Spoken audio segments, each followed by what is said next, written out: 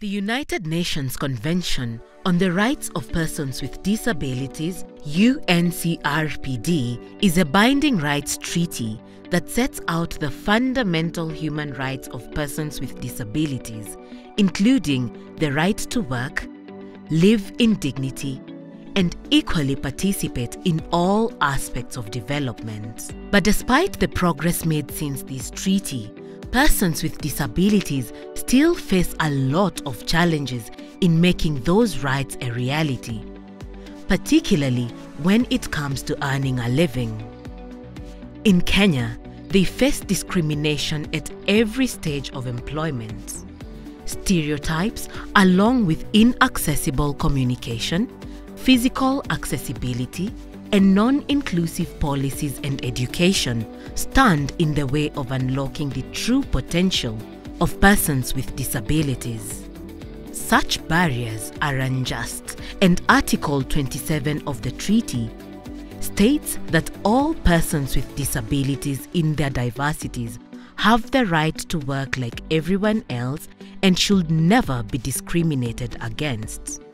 In practice, this means that persons with disabilities have the right to receive training and, in their fields of interest, have that training accommodate their needs and have those accommodations extended to their places of work. Persons with disabilities are entitled to equipment, facilities, and communication methods that allow them to work productively. Furthermore, employers, the government, financial institutions, and other stakeholders should put in place policies and frameworks to address the barriers, reach out to persons with disabilities, and train the wider workplaces on disability inclusion.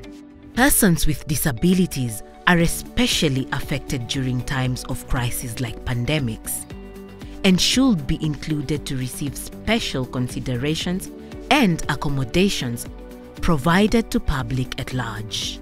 It is important that all persons with disabilities in all their diversities are aware of their rights and protections under Article 27 and are able to exercise their rights. Furthermore, employers, institutions, and society at large should internalize those rights and work to honor them.